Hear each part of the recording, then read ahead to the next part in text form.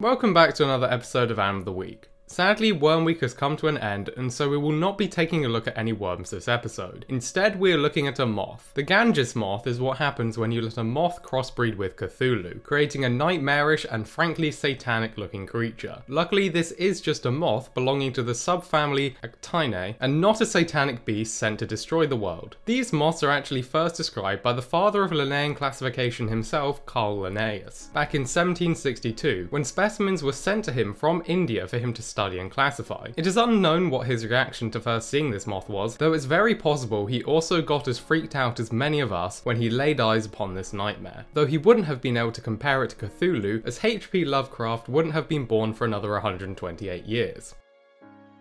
As I just said, the specimen sent to Carl originated from India, however they are not just exclusive to this subcontinent. Ganges moths are found extensively throughout most of Southeast Asia, Japan, Iran, and the northernmost regions of Australia. They are only found in the northern parts of Australia as they need a more humid climate than the dry outback to survive in. This does mean that the majority of Australians can count themselves lucky that they do not have to encounter this moth on top of every other horror in Australia, but it's bad news for the northerners. Within these areas, Ganges moths are commonly found on farmland and fruit plantations for reasons that I will explain in just a few seconds.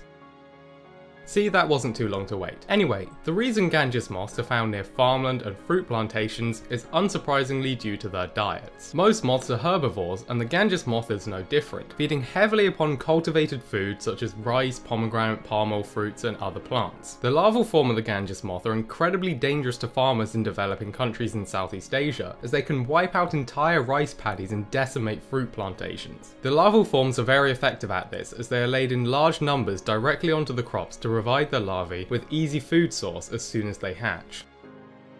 Finally onto the explanation for what on earth the Ganges moth's appendages are. They are unsurprisingly used for mating. Their exact role in the process is to attract a mate using the appendage to release pheromones into the air. Only the males possess them as they are the ones doing the attracting. The appendage is actually inflatable, most of the time they are not visible, but when the male needs to find a mate, he will pump up the huge appendage to try and release huge volumes of pheromones into the air. The fact that these are inflatable somehow makes them even stranger, as a lot of the time you will only see the simple moths similar to many others. Only when it is time for the male to mate is the true horror revealed.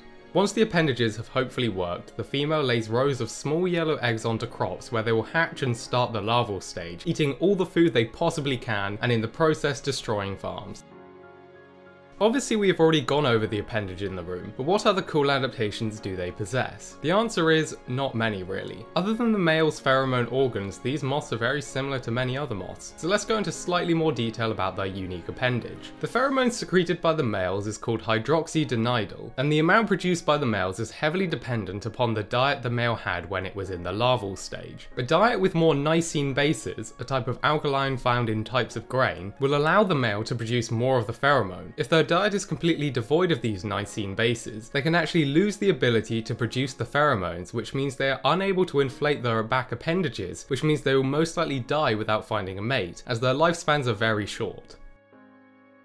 In the natural world, a lot of things eat moths. Birds are the main threat to the Ganges moth, but spiders and other larger insects can also pose a threat. The IUCN does not list them as it's hard to get any data on their population size due to being spread over such large areas. However, the speed and volume at which they reproduce means it's unlikely for them to be under any threat. Plus, their huge range means it's very hard for the whole species to go extinct. Really, it isn't humans who pose a threat to them, it's the Ganges moth that can threaten humans. Their ability to damage crops means they are labeled pests by most farmers, and the damage they can do is quite severe.